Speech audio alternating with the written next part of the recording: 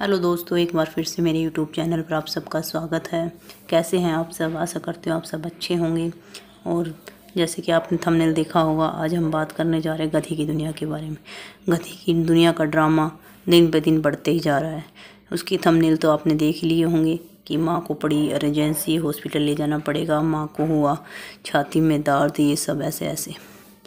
तो गधी की दुनिया के लिए माँ सिर्फ़ बन गई है एक कंटेंट उसके भाई ने की भी वीडियो भी आपने देख ली होगी अंकुर की, कि ये भी जितना भी चल रहा है, ये सब था प्री प्लान उसने अपने एक्सपोज कर दिया है गधी की दुनिया को। कि गधी की दुनिया जितना भी फैला रही है कि माँ को ये हो गया, वो हो गया, वो सब एक प्ली प्री प्लान के अकॉर्डिंग चल रहा है, अपनी वीडियो के कंटेंट के लिए वो सब बना रही है। अगर कोई गधी की दुनिया से पूछे, अगर तेरी माँ को इतनी ही ज़्यादा एजेंसी पड़ी हुई है, जो यहाँ तो बैठ के वीडियो बनाई जा रही है, उनको हॉस्पिटल क्यों नहीं लेके जा रही है?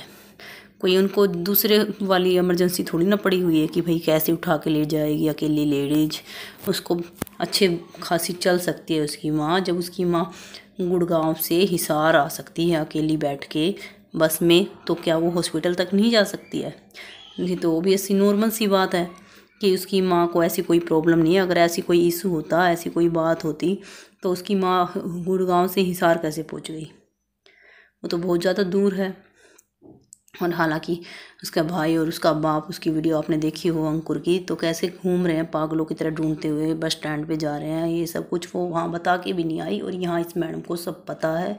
ये थमने लगाई जा रही है कि माँ पहुँची, हिसार, माँ बैठ गई है बस बस में और माँ पहुँचने वाली है, ये सब और इस, ये देखो कितनी गंदी औरत है, इसने अपने भाई को, अपने बाप को बताना भी ज़रूरी नहीं समझा कि माँ वहाँ से निकल ली है और मेरे पास आ गई है।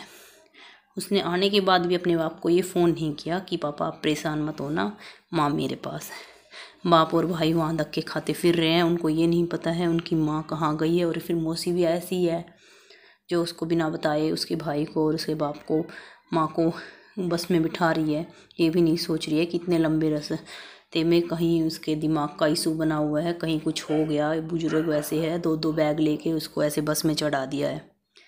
तो ये इनका कुछ नहीं चल रहा है। इनकी फैमिली का ये सब एक ड्रामा है, सिर्फ़ कंटेंट के लिए। और गधी की दुनिया सबको इस अपने ड्रामे को दिखा दिखा के बेवकूफ़ बना रही है।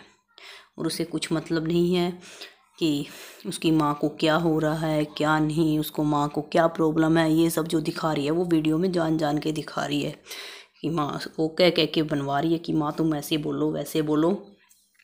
और कुछ भी नहीं है। अगर इतने दिन से उसकी माँ आई हुई है एक परसेंट वो कभी भी अपनी माँ को कह रही कि आप नहा लो, खा लो, अच्छे से कपड़े चेंज कर लो, नहीं। माँ जैसे पड़ी है, पड़ी रहने दो बस, उससे काम करवाओ, उसकी वीडियो बनाओ और चलो।